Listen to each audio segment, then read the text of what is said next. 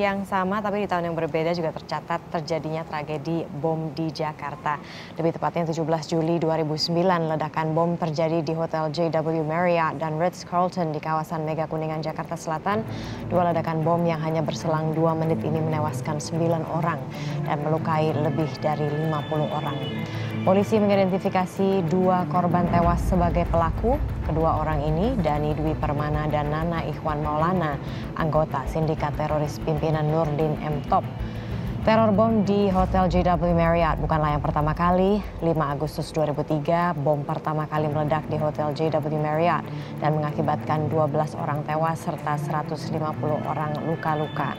Nah, memang di sini ada beberapa korban dan saya juga pada saat itu di hari itu saya mendapatkan kesempatan untuk melaporkan langsung apa yang terjadi di sana, kondisi terakhir dan ada salah satu korban uh, yang memang sebetulnya berada dekat sekali dengan sang pembom itu hanya 5 meter saja tapi dia selamat Hmm. Namanya adalah Mariko Asmarawati, warga negara uh, Indonesia berdarah Jepang begitu ya.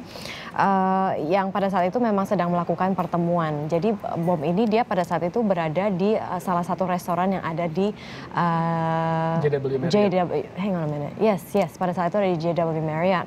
Uh, dan pada saat itu dia juga sempat melihat uh, orang ini gitu uh, sebelum akhirnya bom itu meledak. Dan juga kita bisa melihat modusnya kalau misalnya kita mengingat kembali apa yang terjadi di tahun 2011 itu ternyata uh, si pelaku pemboman ini merupakan uh, orang yang memang sudah terbiasa keluar masuk. Hmm. Kalau tidak salah dia pada saat itu adalah orang yang suka mensuplai bunga oh. di hotel itu. Hmm. Ya, tapi sekarang uh, dan pada saat itu juga Mariko Asmarawati mengatakan bahwa this is a complete miracle. Inilah keajaiban yang luar biasa dan semoga uh, kejadian pemboman ini tidak terjadi lagi di Indonesia atau di Jakarta begitu. Dan kalau misalnya kita lihat begitu ya, kan banyak sekali kejadian bom uh, yang sudah terjadi di Indonesia, apakah itu di Bali ataukah di Jakarta.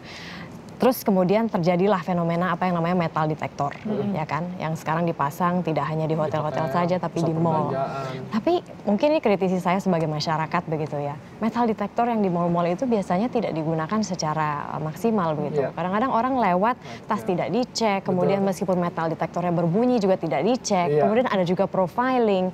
Jika orang yang mengendarai mobil itu adalah orang asing, misalnya dari negara Eropa itu tidak dicek begitu. Hmm. Kan ya what's the metal detector for gitu kalau misalnya yeah. sudah bayar mahal-mahal di situ tapi nggak dipakai secara maksimal. Betul betul betul setuju setuju setuju. Nah ini mungkin bisa menjadi perhatian nih buat pengen, uh, apa pengelola mallnya, hotel yeah. dan sebagainya untuk lebih maksimalkan peralatan-peralatan tersebut ya.